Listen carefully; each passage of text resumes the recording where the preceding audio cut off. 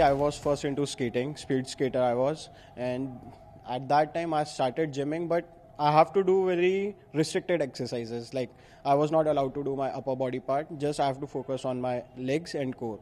So from somewhere I have developed my interest in this field also, but my main game was speed skating, so I was restricted. And later on, I started my transition when I was 18 year old. So my coach told me not to continue skating because it's India and people will not. People have seen you participating in girls, and I was known in skating also. I was national medalist. So I dropped skating, and then I started my transition and got operated. After that, for almost two years, I didn't go for any physical activity. And through Facebook, I came to know about Transman FitCon competition. So that time I decided that I want to participate in it because somewhere I have that sportsmanship inside me and I want to to more into in sports than into my academics.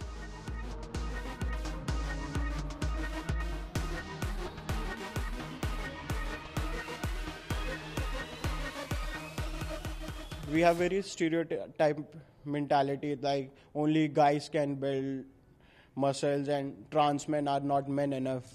So this is something which have break a stereotype mentality of people that no any trans man is a tra- male like any other guy. And like not all guys are bodybuilder. Similarly not all trans guy are bodybuilder. And any skinny guy can do achieve anything if he wants or any fat uh, fatty guy if he wants to lose weight.